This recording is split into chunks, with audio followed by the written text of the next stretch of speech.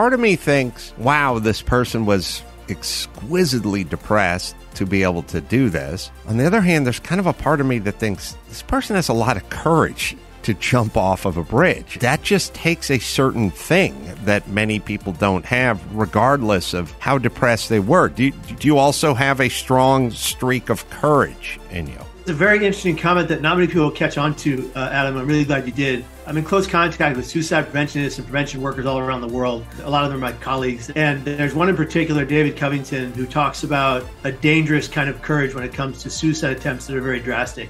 And really, there is this dangerous courage that is put forth by by suicide becoming an option for people who are so desperately uh, in so much pain mentally and emotionally and physically